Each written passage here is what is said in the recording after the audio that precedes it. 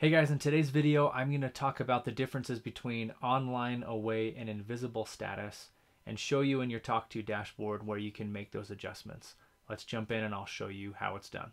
All right, so like I mentioned at the beginning of the video, you can set your status as an agent to either online, away, or invisible. And to change your status, just come up here to the top left and click on the profile icon. And then come down to where it says online. It's a second option.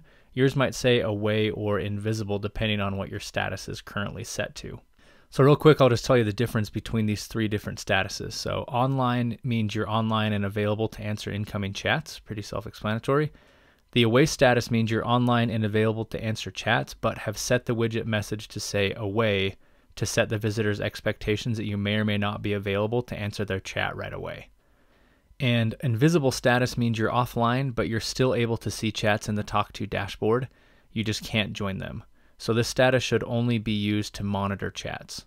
And then just a quick note, you must have at least one agent logged into the dashboard that is not set to invisible status for the widget to indicate that you are online.